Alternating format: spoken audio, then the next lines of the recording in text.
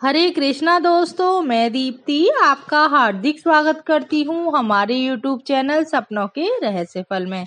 उम्मीद करती हूँ दोस्तों, आप सब अच्छे होंगे, स्वस्थ होंगे।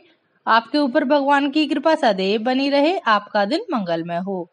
दोस्तों, आज हम बात करेंगे कि सपने में अगर आपको सफ़ेद कमल दिखाई देता है तो इस सपने का क्या अर्थ होता है? इस सपने से आपको क्या फल प्राप्त होता है? आइए दोस्तों, जानते हैं यह सपना आपके जीवन पर क्या प्रभाव डालता है। सपने में सफ़ेद कमल का फूल देखना बहुत ही अच्छा और शुभ सपना माना जाता है। यह सपना बताता है कि आने वाले समय में आपकी आध्यात्मिक उन्नति हो सकती है। इसके अलावा दोस्तों, यह सपना दर्शाता है कि निकट भविष्य में आपको मानसिक शांति भी प्राप्त होगी। यदि आप किसी समस्या से लंबे समय से घिरे हुए हैं तो आपकी वह समस्या जल्द ही समाप्त हो जाएगी। अगर आप सपने में स्वच्छ कमल के फूल को खिलता हुआ देखते हैं तो यह सपना इस ओर इशारा करता है कि माँ सरस्वती की कृपा आपके ऊपर बनी हुई है। इस सपने को आध्यात्मिक प्रेम, धन, ज्ञान आदि का सूचक माना जाता है।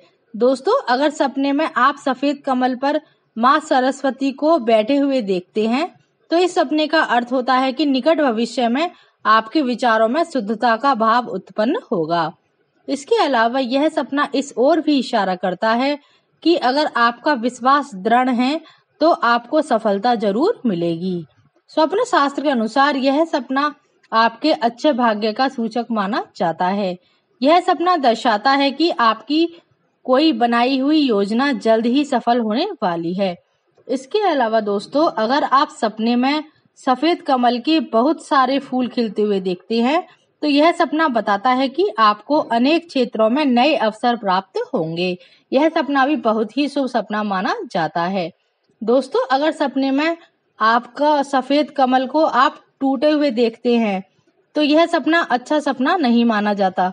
यह सपना इस ओर इशारा करता है कि आने वाले समय में आपको कुछ परेशानियों का सामना करना पड़ सकता है। दोस्तों, उम्मीद करती हूँ आज की जानकारी आपको अच्छी लगी होगी।